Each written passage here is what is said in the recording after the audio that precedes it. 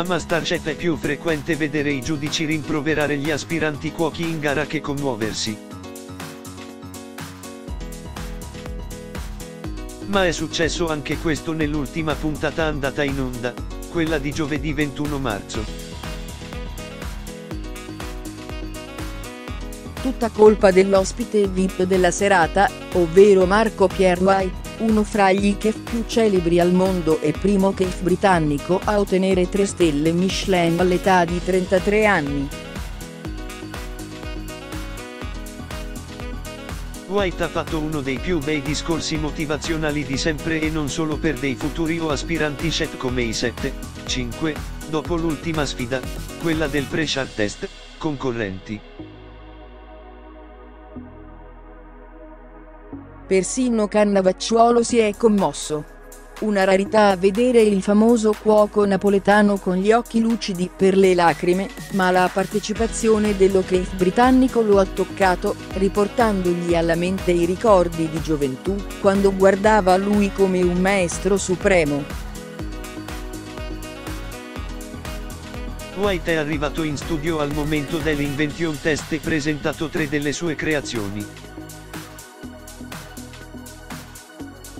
Punto se avete un sogno avete il dovere, e la responsabilità di realizzarlo, ha detto l'enfant terribile dell'alta cucina agli aspiranti chef. E Antonino Cannavacciuolo non ha trattenuto l'emozione, vederlo qua ha detto per me è un'emozione pazzesca. Mi ha davvero emozionato tantissimo, ha ammesso ai colleghi Giorgio Locatelli, Bruno Barbieri e Joe Bastiani quando lo che ospite ha lasciato la cucina di Masterchef. Marco Pierre ha presentato tre dei suoi più celebri piatti che i concorrenti hanno provato a replicare. A scegliere quale preparazione imitare, godendo di importanti consigli da parte dello chef, è stato Giuseppe, che ha optato per il filet mignon di carne con purea di prezzemolo, funghi e cipolline borettane, da cucinare in 60 minuti.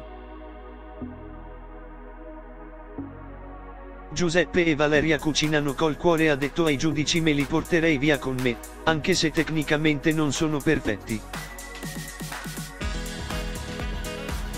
Il piatto di Giuseppe è piaciuto a Marco Pierguai, che si è complimentato con lui per il risultato. Ma è stato con Alessandro, altro giovane concorrente, che si è lasciato andare, il miglior piatto che ho mangiato stasera. E infatti te winner is Alessandro, ha poi deciso White. Alla fine è stata Loretta ad avere la peggio, eliminata prima della prova in esterna.